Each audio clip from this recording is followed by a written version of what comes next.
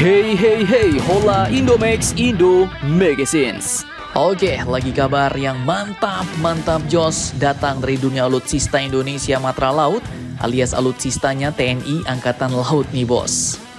Seperti yang kalian tahu Kementerian Pertahanan Indonesia kini tengah berupaya sekuat tenaga untuk membangun kekuatan militer Indonesia yang lebih gacor lagi nih. Dan ternyata selain membutuhkan pulus yang cukup banyak, Pengadaan alutsista-alutsista baru terutama yang impor dari negara asing pun juga membutuhkan waktu yang lumayan lama bos.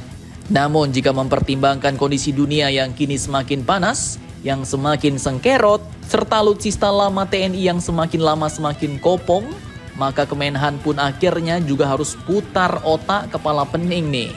Bagaimana caranya agar tidak terjadi kekosongan alutsista di Indonesia? Dan alhasil, sembari menunggu alutsista yang baru dan lagi dibuat, akhirnya Kemenhan pun berinisiatif untuk membeli yang siap pakai bos. Nah, terkait hal ini, ternyata Indonesia pun kini kabarnya mau membeli lagi dua kapal perang dari negara Italia.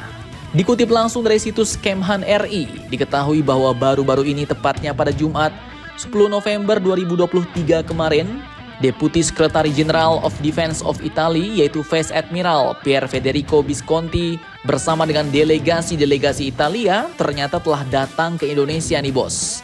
Dan mereka pun melakukan kursi call di kantor Kemhan Jakarta, Indonesia. Dan tak main-main bos. Dikatakan bahwa ternyata tujuan dari kunjungan VADM Pier Federico Visconti menemui Sekjen Kemhan ini pun adalah untuk membahas tentang kerjasama bilateral pertahanan antara Indonesia dan negara Italia, bos. Bahkan, atas pertahanan Italia ini pun juga membahas peluang rencana ke depan Kemhan RI dengan industri pertahanan Italia terkait pembelian dua unit kapal perang ITS Morosini, bos. Nah loh, kapal perang baru lagi nih untuk militer Indonesia. Tapi belum dibeli ya bos, masih rencana.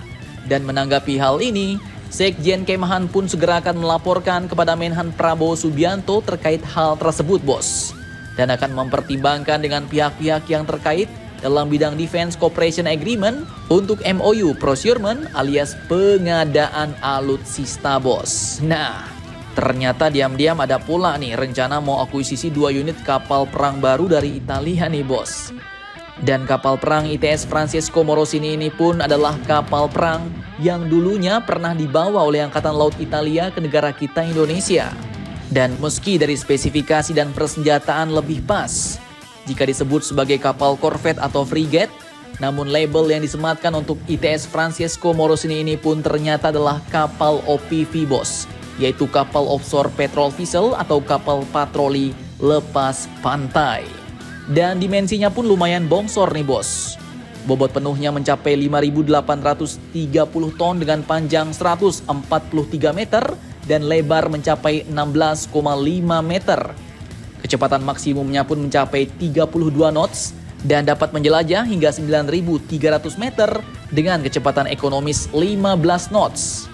Dan kapal ini pun termasuk baru bos. Pasalnya kapal perang ini pun baru diluncurkan pada tanggal 22 Mei 2020 kemarin. Kemudian resmi masuk ke Dinasan Angkatan Laut Italia pada bulan Oktober 2022 tahun lalu bos. Nah artinya baru setahun lebih sedikit nih dipakai oleh Angkatan Laut Italia. Namun admin pun kurang kurang terlalu jelas nih bos. Apakah kapal perang ITS Morosini yang dimaksud ini adalah kapal perang yang saat ini dipakai oleh Angkatan Laut Italia ataukah Indonesia mau beli yang baru nih bos? Nah, jadi bagaimana menurut kalian? Jangan lupa komentar, tetaplah kalian barbar dan jangan santuy terus. Demi Indonesia maju, salam Indomax, Indo Magazines.